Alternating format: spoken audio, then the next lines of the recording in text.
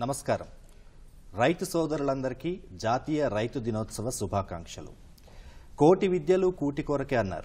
సకల ఉద్యోగాలు ఉదర పోషణ కోసమే. అపర కోటీశ్వరుడైనా కటిక పేదవాడైనా తినేది అన్నమే. అలాగే మన నోట్లోకి మూడు పూటల ఐదు వేళ్ళు వెళ్ళాలంటే ఖచ్చితంగా రైతు సోదరుడు ఆరుగాలం శ్రమించి పండించాల్సిందే. రైతు లేనిదే లోకానికి మనుగడ లేదు. అలాగే విశ్వ మానవాళి కడుపు నింపుతోన్న రైతు సోదరుని గుర్తు చేసుకునే రోజు ఈ రోజు అదే జాతీయ రైతు దినోత్సవం. ఈ సందర్భంగా ఇద్దరు అభ్యుదయ రైతులు మన స్టూడియోస్కి విచ్చేశారు. వారిని అడిగి వారి వారి అనుభవాల్ని మనం తెలుసుకుందాం. ముందుగా పి. సత్యరెడ్డి గారు పాల్గొంటున్నారు ఇవాళ కార్యక్రమంలో. ప్రకృతి వ్యవసాయ రైతు వారు. నమస్కారం అండి. అలాగే మరొక యువ రైతు జె. పుండరీకం గారు. వారు కూడా సమగ్ర వ్యవసాయంతో పాటు ఈ పట్టుగూళ్ళ పెంపకాన్ని కూడా చేపట్టారు. వారికి కూడా స్వాగతం సార్. ముందుగా ఇద్దరికి రైతు దినోత్సవ శుభాకాంక్షలండి. ముందుగా సత్యరెడ్డి గారు మీతో మొదలు పెడతాను. ఏడు పదుల వయసులో కూడా మీరు చాలా ఉత్సాహంగా వ్యవసాయం చేస్తున్నారు. ముఖ్యంగా మీరు ప్రకృతి వ్యవసాయం పట్ల ఎక్కువగా దాన్ని ఎక్కువ ప్రాప ప్రాచుర్యంలోకి తెచ్చే ప్రయత్నం చేస్తున్నారు కాబట్టి అసలు ప్రకృతి వ్యవసాయం అంటే ఏంటి? దాని పట్ల మీ అనుభవాలు దాని ఆవశ్యకత గురించి చెప్పండి సార్. ప్రకృతి మనకు అంటే అనేక సృష్టి ఆరంభం నుండి ఇప్పటి వరకు ప్రకృతి పంచభూతాన్ని పంచభూతాల ఆధారంగానే సకల జీవకోటి జీవిస్తుంది. ఏ జీవకోటికైనా ప్రకృతి ఆధారం లేకుండా ఏది మనుగడ సాగించలేదు. కాబట్టి ఆ ప్రకృతిని కాపాడుకుంటూ ప్రకృతి జీవన విధానాన్ని మనము వెతుక్కుంటూ ఆహారాన్ని కానీ వ్యవహారాలు కానీ ప్రతిదీ కూడా ప్రకృతిని పరిరక్షణ చేస్తేనే మన మనుగడకు సకల జీవకోటి మనుగడకు సాధ్యం అవుతుందని ఈ నమ్మకంతోనే నేను మరి వ్యవసాయాన్ని మొదలుపెట్టాను. నేను మన సుభాష్ పాలేకర్ గారి ద్వారా ఐదు రోజులు నాగార్జున సాగర్లో రెండు వేల ఎనిమిదిలో ప్రారంభమైంది. అక్కడ అనేక విషయాలు నేర్చుకున్నాను. నేర్చుకున్నటువంటి ఈ ప్రకృతి ద్వారా వచ్చినటువంటి దానికి ఈ యొక్క ఈ అభివృద్ధి చెందుతున్న నవనాగరికతలో ఉన్నటువంటి రసాయన వ్యవసాయాలు కానీ ప్రకృతి రెండింటి తారతమ్యాలను నేను చూసుకున్నాను. అంతకుముందు నేను రసాయన వ్యవసాయం చేసినాను. తర్వాత మళ్ళీ ప్రకృతి వ్యవసాయం చేయాలని ఎంతో ఉత్సాహంగా వారు ఇచ్చిన స్ఫూర్తిని నేను తీసుకొని వెంటనే ఒక గోవును కొనుక్కొని ఆ గోవు ద్వారా నేను ప్రకృతి వ్యవసాయం మొదలుపెట్టాను. ఒక గోవుతో ముప్పై ఎకరాలని సాధ్యమని దాన్ని నేను ఆచరిస్తూ ఇప్పటి వరకు ముప్పై ఆవులను పెంచుకున్నాను. ఆవు ద్వారానే ప్రకృతి ద్వారానే ఈ వ్యవసాయం ప్రారంభం చేస్తూ ప- ఈ యొక్క జీవ ఆవు యొక్క మూత్ర మలాలను సేకరించుకొని జీవామృతం తయారు చేసుకుంటూ అట్లనే ప్రకృతిలో దొరికినటువంటి ఈ ఆకులను పంచపత్ర కషాయాల ద్వారా ఈ యొక్క పంటను పరిరక్షణ చేసుకోవటం తర్వాత అన్నిటికి కూడా మరి ఇది శ్రేయస్కరం అని చెప్పి ఎంచుకొని అదే విధానంతో నేను చేస్తున్నాను. కాబట్టి ఈ రసాయనాలు మీ ప్రకృతి ఆహార పదార్థాలు రెండింటి తారతమ్యం చూసుకున్నప్పుడు చాలా కష్టమైన పరిస్థితి అనిపించింది. బాధాకరమైన విషయాలు. మనము ఏ అమృతం తింటే ఆరోగ్యం మరి అమృతంగా ఆరోగ్యం బాగా ఉంటుంది.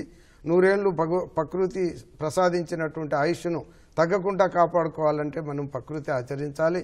మధ్యన వచ్చినటువంటి యొక్క ఈ యొక్క ఏదైతే వ్యవసాయం ఉందో నాగరికత వ్యవసాయము సరే ఆహార భద్రత తీరుస్తుంది. ఆరోగ్యాన్ని మాత్రం పరిరక్షణ చేయ చేయలేకపోతుంది. కాబట్టి ఆరోగ్యానికి ఈ రసాయనాలు విషతుల్యమైన వాటికంటే మరి ఈ ప్రకృతి ప్రసాదించినటువంటి ఆహారాలను ఉత్పత్తి చేసుకోవటం అందులో ఆరోగ్యాన్ని ప్రసాదించుకొని ప్రకృతికి ఎలాంటి హాని జరగకుండా జీవకోటిని అన్నిటిని కూడా రక్షిస్తూ భూమిలో కూడా జీవాణువులను జీవకోటిని పరిరక్షణ చేయాలని మరి జీవం ఉన్నటువంటి మా భూమినే తల్లి అంటాము. కాబట్టి ఆ తల్లిలో జీవం లేకుండా నశిస్తుంది. తల్లి జీవంగా ఉన్నప్పుడే మన జీవనాధారాలు పెరుగుతాయి. మన యొక్క ఆయుష్ కూడా పెరుగుతుంది. కాబట్టి రైతు అన్నదాత అంటాము.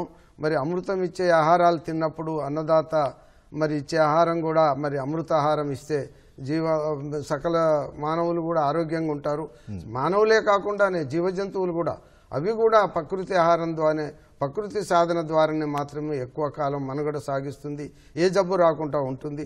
మరియు మంచి ఆహారము అమృతమైనటువంటి ఆహారాలు తినాలంటే పూర్వం మన తాత ముత్తాతలు పండించిన ఆహారమే సమమైంది. కాబట్టి వాళ్ళు ప్రకృతి ఆధారంగానే పండించిండ్రు. ఆ ప్రకృతి ఆహార పదార్థాలను తింటూ వాళ్ళు నిండా నూరేళ్ళు ఉన్నారు. యువకోటిని పెంచి భూమిలో మనము సమగ్రమైనటువంటి మరి పంటలను వేసుకొని తద్వారా మన ఆరోగ్యాన్ని కాపాడుకుంటే బాగుంటుంది. ఆ పంటలు రుచికరమైనవి చాలా మంచివి ఆరోగ్యాన్ని ఇస్తుంది ఆయుష్ని ఇస్తుంది కాబట్టి నిండా నూరేళ్ళు మనం సుఖంగా జీవించాలని అంటే అలాంటి ప్రకృతి ఆహార పదార్థాలు తిన్న వాళ్ళని నేను చూస్తున్నాను. చాలా మంది తీసుకుపోయి మళ్ళీ అక్కడికి వస్తున్నారు. ప్రతి ఒక్క మనిషి కూడా అలాంటి మరి దాన్ని. ఆచరించినట్లయితే బాగుంటుందనే నాకు అభిలాషతో మేము ప్రకృతి వ్యవసాయం మొదలుపెట్టి చేస్తున్నాను. నేను చక్కగా సంపూర్ణంగా ఈ వ్యవసాయంలో మంచి ఫలితాన్ని సాధిస్తున్నాను మీరు చాలా మందికి ఇన్స్పిరేషన్గా ఉన్నారు. ఎందుకంటే ఇప్పుడు ఉన్న జనరేషన్ అందరూ కూడా ఈ సాఫ్ట్వేర్ జాబ్స్ వైపు వెళ్ళిపోతున్నారు.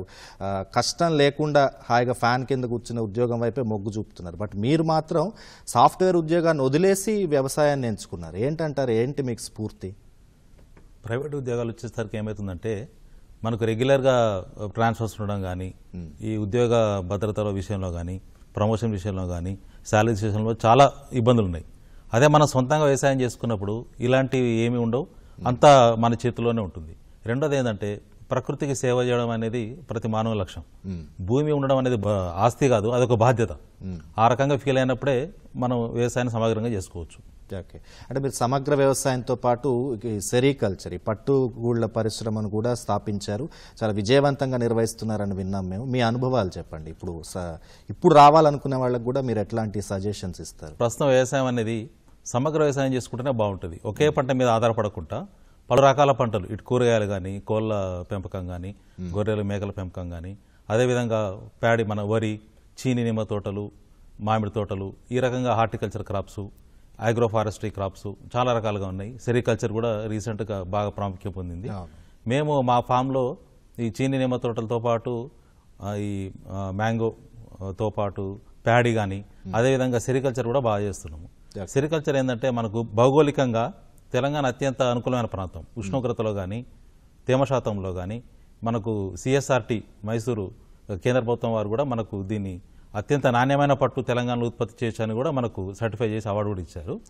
తదనుగుణంగా సెరికల్చర్ తోటి మనం మంచి ముందడుగు వేయచ్చు. అంటే ఇప్పుడు సెరికల్చర్ అన్నది ఇప్పుడు మీరు అన్నట్టు చాలా మంది యూత్ ఎక్కువగా దీనివైపు మొగ్గు చూపుతున్నారు. అండ్ ముఖ్యంగా మీది పట్టణానికి కొంచెం చాలా దూరంలో ఉంది మీ ఫామ్ అని విన్నాం మేము. అంటే ఆ మార్కెటింగ్ అది ఎట్లా చేసుకుంటారు? ఏమైనా ఇబ్బందులు తలెత్తుతున్నాయా? దానికి సంబంధించి చెప్పండి. ఒక రకంగా చూసుకుంటే మార్కెటింగ్ సెరికల్చర్లో పెద్ద ఇబ్బంది లేదని చెప్పొచ్చండి. ఎందుకంటే మనకు మన రాష్ట్రంలో వచ్చి రెండు గవర్నమెంట్ మార్కెట్స్ ఉన్నాయి. ఓకే. అదేవిధంగా భౌగోళికంగా కూడా తెలంగాణ ప్రాంతం అంటే అతిపెద్ద నగరమైన హైదరాబాదు తెలంగాణలో మనం ఏ మూల ఉన్నా కానీ మ్యాక్సిమం నూట యాభై రెండు వందల కిలోమీటర్లో రావచ్చు. ఇప్పుడు పెరిగిన రహదారులు కానీ ఈ రకంగా చూసుకుంటే మనం రెండు మూడు గంటల్లో చేరుకోవచ్చు. సో మనకు గవర్నమెంట్ మార్కెట్ ఉంది. అక్కడ మధ్యాహ్నం ఒకటి ఒకటిన్నరకు ఆక్షన్ పెడతారు. ఓకే. మనకు పర్ఫెక్ట్ మార్కెట్ ట్వంటీ ప్రతి రోజు పనిచేస్తుంది దానికి సెలవు అంటూ ఎప్పుడు ఉండదు. కేవలం ఆగస్టు పదిహేను జనవరి ఇరవై ఆరు తప్పించి ఎప్పుడు ట్వంటీ ఫోర్ బై సెవెన్ మనకు మార్కెట్ అందుబాటులో ఉంటుంది. మనం ఎప్పుడైనా దిగుమతి ఎగుమతి చేసుకోవచ్చు. ప్రతిరోజు ఆక్షన్స్ జరుగుతూ ఉంటాయి. మార్కెటింగ్కి సంబంధించి పెద్ద ఇబ్బంది ఏం లేదని చెప్పొచ్చండి. ఓకే. సత్యరెడ్డి గారు అలాగే ఇప్పుడు ప్రకృతి వ్యవసాయం పట్ల మీరు గత పది పన్నెండు సంవత్సరాలుగా చేస్తున్నారంటున్నారు. ఈ మధ్య కూడా ఆరోగ్యం పట్ల చాలా మంది కాన్షియస్గా మారుతున్నారు. సో అంటే ఇప్పుడు చీడపీడలు ఏమైనా ఆశించినప్పుడు ప్రకృతి వ్యవసాయంలో వాటి నివారణకి ఎట్లాంటి పద్ధతులను అవలంబిస్తారు మీరు? ముఖ్యంగా ప్రకృతిని మనం ఆధారంగా చేసుకున్నప్పుడు చీడపిల్లలు అనేది సహజంగా వస్తూనే ఉంటాయి. అవి ఎలా పెరిగినా కూడా మనం కంట్రోల్ చేసుకోవటం మన చేతుల్లోనే ఉంది. దీంట్లో భౌగోళికంగా మనకు సహజ సిద్ధమైనటువంటి కొన్ని విధానాలు ఉన్నాయి. మరి వాటిని ఏ పురుగును కూడా మనము కావాలని విషం వేసి చంపాల్సినటువంటిది అవసరం లేదు. ఎందుకంటే పర్యావరణ పరిరక్షణలో ప్రతి జీవి కూడా అంగభాగమే కాబట్టి అందులో మనము ముఖ్యంగా ఈ ఉధృతి పెరగకుండా ప్రకృతిలో ఉధృతి ఉన్న పురుగుల ఉధృతిని పెరగకుండా వాటి సంతానాన్ని ఆపు చేసుకుంటూ మనము పంటలను రక్షించుకుంటూ పోవటం కొరకు భౌగోళికమైనటువంటి కొన్ని మరి బయాలజికల్ కంట్రోల్స్ అని ఉన్నాయి. అందులో వేప పిండి కానీ వేపకు సంబంధ నూనెకు సంబంధించినవి కానీ అట్లానే వాటితో పాటుగానే మరి మనకు అనేకమైనటువంటి ఈ లింగాకర్షణ బుట్టలు అవి ఎందుకంటే హార్మోనల్ బ్యాలెన్స్ను చేసుకుంటూ లింగాకర్షణ ద్వారా మగ ఆడి పురుగులను బుట్టలో బంధించి చేయటం వల్ల వాటి ఉత్పత్తి తగ్గిపోవటం. రెండోది గమ్ స్టిక్కర్స్ అని ఉంటాయి. ఆ స్టిక్కర్స్ పెట్టి గమ్ ఉంటుంది. వచ్చినటువంటి దోమలు ఇలాంటి మైట్స్ అన్ని కూడా దానికి ఫిక్స్ అయిపోతాయి. అట్లా కంట్రోల్ చేసుకుంటాం. అది కాకుండా పంచపత్ర కషాయాలని ఐదు రకాల ఆకులు వేపాకు సీతపాలాకు జిల్లడాకు వాయిలాకు ఉమ్మెంతాకు ఇలాంటి ఐదు రకాల ఐదు రెండులో పది కిలోలను మనము ఆకును దంచి ఒక ఇరవై లీటర్ల మూత్రాల్లో పది ఐదు రెండులో పది కిలోలను తీసుకొచ్చి దాంట్లో ఒక మూడు నాలుగు పొంగులు వచ్చే వరకు మరిగించి ఆ కషాయాన్ని వడబోసి దాచుకుంటే ఆరు మాసాల వరకు ఎప్పుడైనా వాడుకోవచ్చు. ఇట్లా. అదే కాకుండా గోమూత్రంలో వన్ ఇస్టు ఒక ము- ఒక లీటర్కు పది లీటర్ల నీళ్ళు కలుపుకొని మనం పిచికారి చేసిన ఏ పురుగు కూడా మన పంటల మీద గుడ్లు పెట్టినప్పుడు అవి మరి పొదగకుండా అవి చనిపోతాయి. కాబట్టి అట్లా మనం ప్రకృతిని కాపాడుకొని మనం రెండవది ఇందులో ఎక్కడ కూడా మన మిత్రపురులకు నష్టం జరగకుండా మిత్రపురులను కాపాడుకుంటూ శత్రుపురుల మీద ఉధృతిని పెరగకుండా ఉన్న పురుగులను కూడా కొంత నశింపజేసుకుంటూ మనం ఇట్లా ముందుకు పోయినట్టయితే ఏ పంట మీదనైనా ఎప్పుడైనా మనము పూర్తిగా మనము దాన్ని కాపాడుకోవచ్చు. ఆ రకంగా నా ప నా పంటలో నా క్షేత్రంలో ఇప్పటివరకు పురుగుల ఉధృతి అనేది పూర్తిగా తగ్గిపోయింది. హాయిగా రైతు సోదరులు ఈ రకంగా ప్రకృతి ఆహారంలో మనకు అమృత ఆహారాలను ఉత్పత్తి చేసుకొని అందరికీ అమృతాన్ని ఇచ్చి మరి ఆయుష్ను పెంచేటువంటి క్రమం రైతు మీద ఆధారపడిందని చెప్తాను. చిన్న విరామం తర్వాత మళ్ళీ మాట్లాడదాం అండి జాతీయ రైతు దినోత్సవం ప్రత్యేక కార్యక్రమంలో ఇప్పుడు ఒక చిన్న విరామం తీసుకుందాం.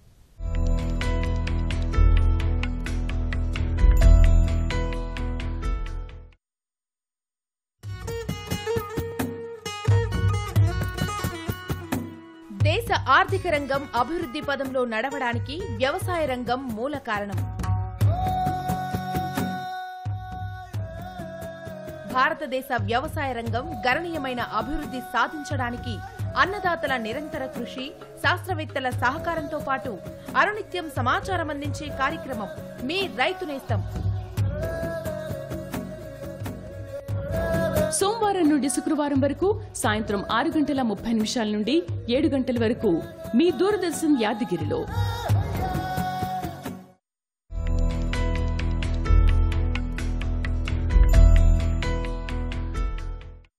విరామం తర్వాత ప్రత్యేక కార్యక్రమానికి తిరిగి స్వాగతం.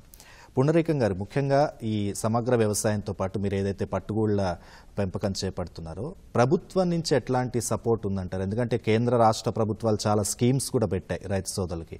అలాగే ఏమైనా శిక్షణ కార్యక్రమాలు కూడా ఏమైనా నిర్వహిస్తోందా? ఒక రైతుగా ఏం చెప్తారు మీరు? సెరికల్చర్ శిక్షణ కార్యక్రమాలు చాలా ఉన్నాయండి. ఇటు కేంద్ర ప్రభుత్వం సెంట్రల్ సిల్క్ బోర్డు ద్వారా సిఎస్ఆర్టీ మైసూర్ ద్వారా రెగ్యులర్గా శిక్షణలు ఇస్తూ ఉంటారు. ఓకే. అదే మాదిరిగా రాష్ట్ర ప్రభుత్వం కూడా ఇక్కడ సెంటర్ ఆఫ్ ఎక్సలెన్స్ నుంచి కానీ ఆర్ఎస్ఆర్ఎస్ రీజనల్ సెంటర్స్ ఉన్నాయి. అక్కడ నుంచి కూడా మనకు రెగ్యులర్గా ట్రైనింగ్స్ ఉంటాయి. అదే కాకుండా మంత్లీ ఒకసారి బై మంత్లీ ఒకసారి మన జిల్లా అధికారులు కూడా మనకు తగు శిక్షణ ఇస్తూ ఉంటారు. మంచి ప్రోత్సాహం ఉంది. వాళ్ళు మనకు చెప్పడం అందులో ఉన్న సాధక బాధలు మిగతా రైతులతోటి షేర్ చేసుకునే అవకాశాలు కూడా ఇస్తూ ఉంటారు వాళ్ళు. వాళ్ళు రెగ్యులర్గా మన ఫీల్డ్కు విజిట్ కూడా చేస్తారు. ఇందులో పథకాలు కూడా చాలా ఉన్నాయి. ఎందుకంటే కేంద్ర ప్రభుత్వం స్పాన్సర్ చేస్తున్నది సెరికల్చర్ కాబట్టి మనకు ఈ నరేగా స్కీమ్ మహాత్మా గాంధీ రోజ్గార్ యోజన దాని ద్వారా కానీ అదేవిధంగా రాష్ట్ర ప్రభుత్వం కూడా మంచి ప్రోత్సాహాలు షెడ్యూకు కానీ అదేవిధంగా కేజీకి డెబ్బై రూపాయలు రాష్ట్ర ప్రభుత్వం ఇప్పుడు ప్రోత్సాహం కూడా అందిస్తూ ఉంది.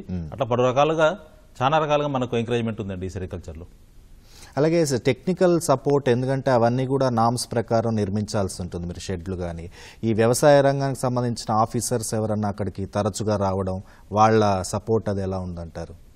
ఇందులో బాగుందండి. ఇందులో ఒక రకంగా చెప్పాలంటే మనకు నిత్యం అందు అధికారులు అందుబాటులో ఉంటారు. ఇప్పుడు మన క్రాప్ నడిచే ట్వంటీ త్రీ ట్వంటీ ఫోర్ డేస్లో కూడా మధ్యలో రెగ్యులర్గా కీలకమైన ఎవ్రీ మూడు నుంచి నాలుగు రోజులకు ఒకసారి రావడము.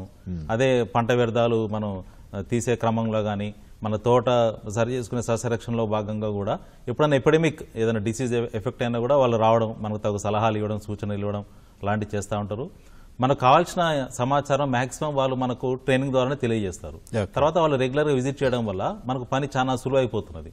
ఇందులో ఉన్న టెక్నికల్ మ్యాటర్ మొత్తం మనకు ఇరవై రెండు నుంచి ఇరవై మూడు రోజుల్లో పంట కాలం కాబట్టి నాలుగైదు పంటలు చేసినప్పుడు తోటి రైతులతో షేర్ చేసుకుంటే మనకు దాదాపుగా ఏ ఇబ్బంది లేకుండా సాఫీగా జరిగిపోతుందండి. అలాగే సార్ ఈ మధ్యకాలంలో వ్యవసాయ శాస్త్రవేత్తలు అందరూ కూడా ఏక పంట విధానం కాకుండా మిశ్రమ వ్యవసాయం వైపు రైతు సోదరులు మరలాలని చెప్పి చాలా మంది స- సలహాలు ఇస్తున్నారు కదా. మీరు ఆల్రెడీ దాన్ని చేస్తూ ఉన్నారు కాబట్టి మిశ్రమ వ్యవసాయం ద్వారా రైతుకు ఎలాంటి లాభాలు ఉంటాయంటారు? తప్పకుండా మిశ్రమ వ్యవసాయం చేయాల్సిందేనండి ఇప్పుడు. ఎందుకంటే ఈ వాతావరణం కూడా చాలా వేగంగా మారుతున్నది. ఇప్పుడు క్లైమేటిక్ చేంజ్ అని చాలా ఎఫెక్ట్స్ వస్తూ ఉన్నాయి కాబట్టి పలు రకాలుగా పంటలు. మనం ఒక్కదాని మీద డిపెండ్ కాకుండా రోజువారీ అందరూ ఉపయోగించుకునే ఆకుకూరలు కానించి కాయగూరలు కానించి అలాగే పండ్ల మీద కూడా మంచి అవగాహన పెరిగింది ఈ రోజుల్లో. కాబట్టి మనకు చీని నిమ్మ తోటలు కానీ మామిడి తోటలు కానీ జామ తోటలు కానీ అలా వేసుకుంటూ ఎలాగో మనకు వరి అనేది ఎప్పటి నుంచో సనాతన ధర్మం నుంచి వరి- వస్తుంది. ఇవన్నీ సమగ్రంగా కోళ్ళు మేకలు గొర్రెలు ఇవన్నీ వ్యవసాయం సమగ్రంగా చేసుకున్నప్పుడే లాభసాటిగా ఉంటుంది రైతుకు. ముఖ్యంగా ఇప్పుడు నేను ప్రాక్టీస్ చేసే సెరికల్చర్ పట్టు పురుగుల పెంపకం అయితే షార్ట్ టర్మ్ అంటే మనకి ఇరవై రెండు నుంచి ఇరవై రోజుల పంటే కాబట్టి మనకు వీటితో పాటు కలిపి చేసుకోవచ్చు మిశ్రమ వ్యవసాయం కింద చేసుకోవచ్చు. ఒక పంటలో నష్టపోయినా కానీ తప్పకుండా ఇంకో పంటలో లాభం వచ్చే అవకాశం ఉంటుంది. మిశ్రమ వ్యవసాయంలో ఏంటంటే పాడి పంట అంత చాలా మంది చెప్తా ఉంటారు మన పూర్వీకులు. మనకు పలు రకాలుగా సమగ్ర వ్యవసాయం అన్ని వాడుకున్నట్టుంటది పంట వ్యర్థాలు కూడా మళ్ళీ మన ఎరువుగా మార్చుకొని వాడుకోవచ్చు. తదవిధంగా ఖర్చులు తగ్గుతాయి.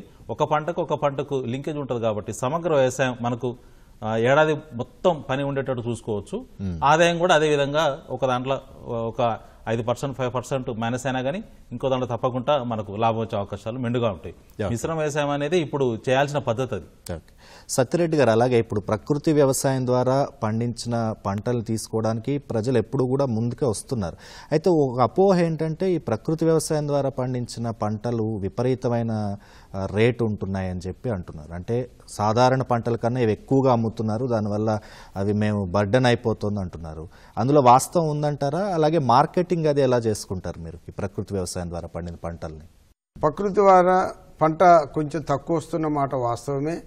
ఎందుకంటే దాన్ని మనము రైతు తనకు తనుగా కష్టపడి భార్యాభర్తలు కష్టపడి పిల్లలతో సహా కష్టపడి పనిచేసినప్పుడు మరి దాంట్లో కొద్దిగా మిగులుబాటు జరుగుతుంది. ఎందుకంటే ఎక్కడ కూడా మనకు మార్కెట్కి పోయి కొనుగోలు లేదు. ఈ కొనుగోలు లేకుండా మనం చేస్తున్నటువంటి మరి ఈ పంటలు ఉన్నాయో వాటిని మనము మరి లాభసాటిగా దొరుకుతుంది. ఎందుకంటే మనమే కృషి చేసి మనమే కష్టపడి మనమే పండించుకున్నప్పుడు మరి మనకు లాభసాటి ఉంటుంది. కానీ మార్కెట్లో కొనుక్కునేది ఏది లేదు. అందుకొరకు జీరో బడ్జెట్ కింద పాలేకర్ గారు మాకు వివరాలు ఇచ్చినారు. కాబట్టి ఇట్లా పండిన పండిన పంట ప్రకృతి ద్వారా వచ్చిన పంట తూకాలు ఎక్కువ వస్తుంది నాణ్యత బాగుంటుంది రుచి బాగుంటుంది ఆరోగ్యంగా ఉంటుంది.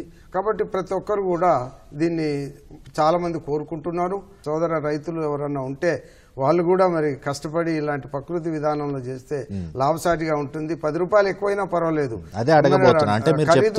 చూడలేదు కానీ ఆరోగ్యాన్ని ముందు పెట్టుకుంటున్నారు. మారుతున్న సమాజంలో చాలా మంది మనకి మొగ్గు చూపుతున్నారు కాబట్టి మాకు లాభాలు డిమాండ్కి తగ్గ సప్లై మేము చేయలేకపోతున్నాం అని మీరు చేయలేక- అంటున్నారు. అవును అంటే ఇప్పుడు రైతుల్ని మీరు ఎట్లా మోటివేట్ చేస్తున్నారు ఇటువైపు మరల్చడానికి ప్రకృతి వ్యవసాయం వైపు? రైతు సోదరులు ఎంతమంది ఇటు రావడానికి సిద్ధంగా ఉన్నారంటారు ప్రకృతి వ్యవసాయం చేయడానికి? నేను సుమారుగా నల్లగొండ జిల్లా నుంచి నాలుగు డివిజన్ల నుంచి కూడా అందరూ రైతులు పీకేవీవై పరంపరాగత కృషి వికాస యోజన స్కీమ్ కింద రైతులందరూ మండలానికి యాభై మంది ఇరవై ఐదు మంది చొప్పున అందరూ రైతులు మా జిల్లా కలెక్టర్ గారి ఆదేశంతో మా జిల్లా జేడీఏ గారు తర్వాత ఏఓలు మరి ఏఈఓలు అందరూ కూడా ఏడీఏలు కూడా మన దగ్గరికి క్షేత్రాన్ని తీసుకురావడం జరిగింది. గత పది సంవత్సరాలకు పైన చేస్తున్నాను కాబట్టి ఈ క్షేత్రాన్ని ప్రకృతి క్షేత్రంగా అందరూ గుర్తించారు. అలాంటి వచ్చిన రైతు సోదరులందరికీ కూడా నేను చెప్పాను కనీసం మీరు మీ కుటుంబానికి మీ బంధుమిత్రులకైనా సరిపోయే ఆహార పదార్థాలను ఒక ఎకరమైనా చేసి మీరు పండించుకొని మీరు ఆరోగ్యంగా ఉండండి. ఎవరన్నా కోరితే వారికి ఇవ్వాలని చెప్పి నేను గత ఎనిమిది తొమ్మిది సంవత్సరాలుగా అనేక డిబేట్స్ పెట్టి మన దగ్గర శిక్షణా కేంద్రాలు పెట్టి మన ఇక్కడ భాగ్యనగర్ నుంచి కూడా వచ్చారు రంగారెడ్డి జిల్లా నుంచి మెదక్ జిల్లా నుంచి. నేను అనేక జిల్లాలకు పోయి అనేక చోట్ల శిక్షణలు పొంది తర్వాత అన్ని చోట్ల పిలిచిన రైతులు సంఘాల దగ్గరికి కూడా పోయి నేను వాళ్ళకి సలహాలు సూచనలు వారికి ఇది చాలా బాగుంది. ఈ రోజుల్లో ఎవరు కూడా ఈ విషాహారాలు తినటానికి ఇష్టపడలేదు కాబట్టి మన అందరం రైతులు కూడగట్టుకొని సొసైటీలు కూడా పెట్టుకొని కోఆపరేటివ్ సొసైటీలు కూడా పెట్టుకొని మనం అమ్మకాలు చేసినట్టయితే మన ఉత్పత్తులు కొనడానికి మనకు మరి భాగ్యనగర్ నుంచి చాలా మంది వ్యాపారులు వస్తున్నారు కాబట్టి మనకు వాళ్ళకి అందియాలంటే ఆరోగ్యం కావాలని కోరుకుంటున్నారు. మనం ముందంజలో ఉన్నాము.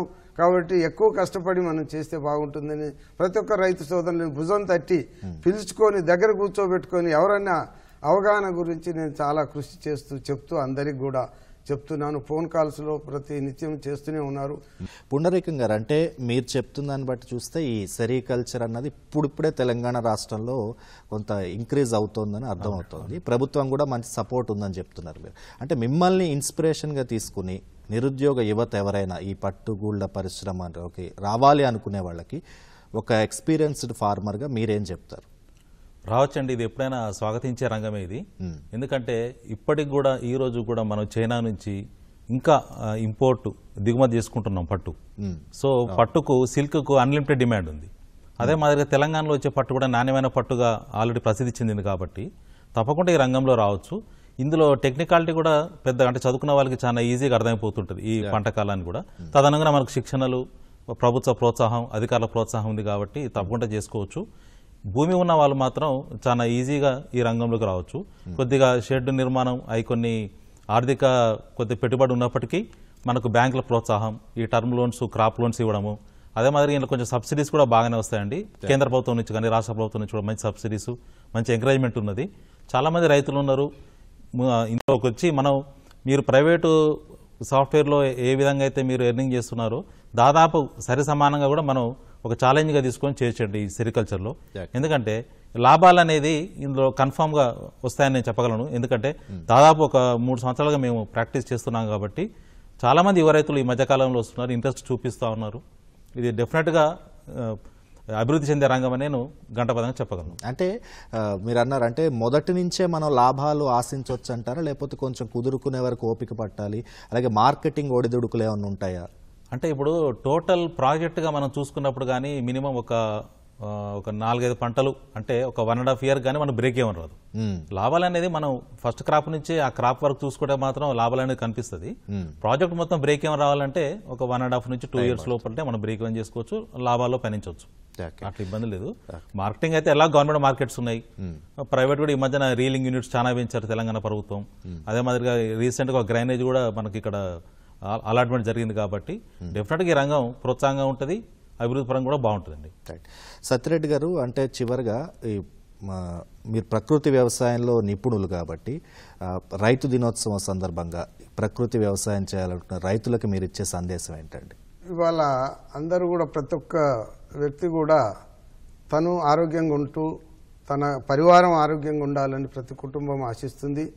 ఇందులో భాగంగానే ఈ ప్రకృతి ఆహారం తిన్న వాళ్ళ యొక్క ఆరోగ్యాలు బాగుంటున్నాయని బాగా మరి అందరూ దాని మొగ్గు చూపుతున్నారు కాబట్టి మార్కెట్లు కూడా మరి ప్రభుత్వం నుంచి కూడా మనకు చాలా మరి కొన్ని లోన్స్ ఇవ్వటం కానీ రెండోది మరి ప్రోత్సాహకాలుగా మాకు పామ్ పాండ్స్ ఇవ్వటం కానీ సీడ్స్ ఇవ్వటం కానీ డ్రిప్స్ ఇవ్వటం కానీ ప్రతిది కూడా ప్రభుత్వం నుంచి మనకు అన్నీ కూడా దొరుకుతూనే ఉన్నాయి. మరి అందరూ రైతు సోదరులు అందరూ కూడా దీన్ని మరి ఆసరాగా తీసుకొని చేస్తే బాగుంటుంది. కాబట్టి కొన్ని దిగుబడి అన్నది ఇంకొంచెం ఎక్కువ వస్తుంది. దిగుబడులు కొంచెం ఎక్కువ తక్కువ దిగుబడులు తక్కువ ఉన్నప్పటికీ కూడా ఏం తక్కువ రావు. మన కృషి మీద ఆధారపడి ఉంది జీవన ద్రవ్యాలు ఉన్నాయి. ఇవాళ వేస్ట్ డీకంపోజర్ ఉంది. ఛాలెంజ్గా తీసుకొని మళ్ళీ చేస్తున్నారు. జీవామృతం లేదు గోవులను పెంచలేము జీవ మరి మళ్ళీ గోవుల యొక్క మలమూత్రాలు దొరకట్లేదు. అవి పాలేకర్ గారి విధానం సాధ్యమైనప్పుడు వేస్ట్ డీకంపోజర్ తీసుకొని దాని ద్వారా అటు పెస్టిసైడ్ గాను ఇటు మరి జీవన ఎరువులు గాను వాడుకున్నట్లయితే అనేక లాభాలు ఉన్నాయి. చాలా బాగుంది. ఒక్కొక్కసారి మేము కాంపిటీషన్గా ఒకరి దగ్గర లేకపోతే ఒకరు పంచుకొని వాళ్ళకి అందించే ప్రయత్నం చేస్తున్నాం. ఇట్లా చాలా మంది రైతు సోదరులు చేసినట్టయితే ఆరోగ్యం దృష్టిలో పెట్టుకొని అందరూ కాక్షిస్తున్నారు కాబట్టి ఒకప్పుడు లేదు ఇప్పుడు ఉంది. కాబట్టి ఆ యొక్క దాన్ని మనం తీర్చాలంటే మనం తప్పనిసరిగా మరి వ్యవసాయం ప్రకృతి వ్యవసాయం బాగుంటుందని మేము కోరుకుంటున్నాం. ప్రభుత్వం ఇచ్చే ప్రోత్సాహకాలు తీసుకొని మనము రైతు సోదరులు అందరూ కూడా ముందడుగు వేయాలని దీన్ని అందరి రైతు సోదరులను కోరుకుంటున్నాను. ఇదే నా యొక్క ధన్యవాదాలు సత్యరెడ్డి గారు అలాగే పుండరీకం గారు. మా స్టూడియోస్కి విచ్చేసి మీ అనుభవాల్ని ఈ జాతీయ రైతు దినోత్సవం రోజు పంచుకున్నారు. మరొకసారి మీకు జాతీయ రైతు దినోత్సవ శుభాకాంక్షలు తెలియజేసుకున్నాను. Thank you thank you very much జాతీయ రైతు దినోత్సవం సందర్భంగా రైతు సోదరులందరికీ మరొకసారి రైతు దినోత్సవ శుభాకాంక్షలు తెలియజేసుకుంటూ మరొక అంశంతో మరొక కార్యక్రమంలో మళ్ళీ కలుద్దాం. అంతవరకు సెలవు. నమస్కారం.